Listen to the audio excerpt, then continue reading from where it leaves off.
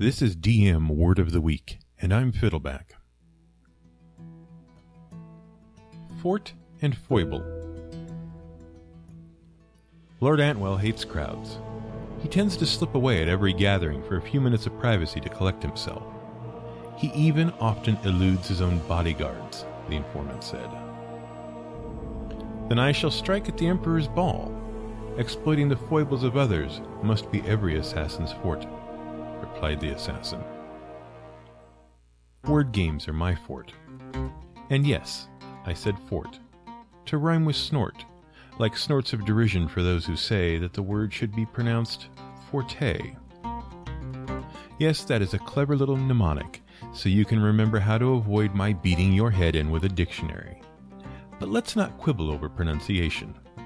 I'm giving you two words this week, but they are closely related, maybe kissing cousins. Most folks know the word fort as it is used here. It is something you are good at, it is your strong point, and the origin is no mystery. Bards say forte when they want you to sing with strength. We can fortify a fortress with folks of great fortitude to force enemy forces to flee. So we know fort is coming from. Foible. Yes, you get two words for today. Foible is a word you might know too. You might think of it as a personal eccentricity or an odd habit, but it is actually more correctly defined as a personality defect or weakness. And so, if you can turn your fort against foes' foibles, you can win a sword fight. What? See, fort and foible are both related to swords. The fort and the foible are two of the three, or sometimes four, parts of the blade of the sword. The foible is the upper third of the blade, starting at the tip.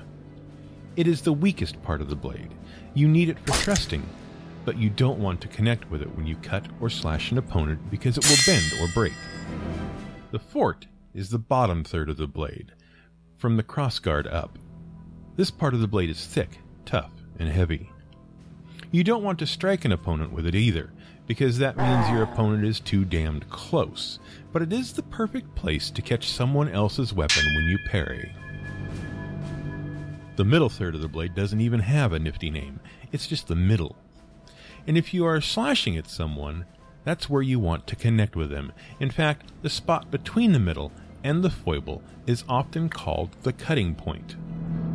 That's the spot on the blade you want to connect with for a good, solid slash that gives you maximum speed, strength, and power. Oh, that fourth part that blades sometimes have?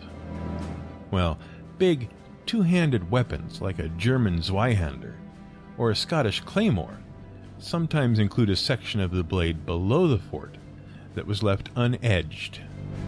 Often it had an extra guard just above it. This section called the shoulder, was a place for the warrior to grip the sword to shorten his fighting distance when an opponent managed to get in too close.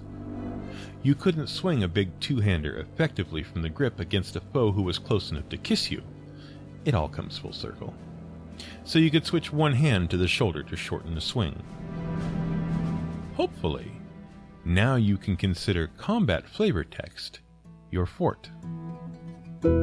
Incidentally, if you want to learn more about medieval weaponry, check out the Medieval Weapons for Beginner's Guide.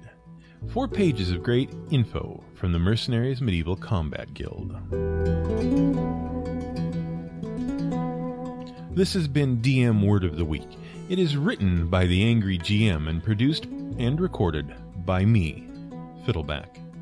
You can find more RPG advice at theangrygm.com and madadventures.com.